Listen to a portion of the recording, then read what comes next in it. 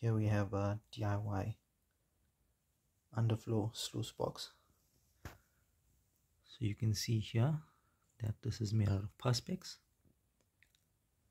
And then we've got one of the underflow areas where we can capture potential gold. And you can see that it has a slight gradient as it's coming down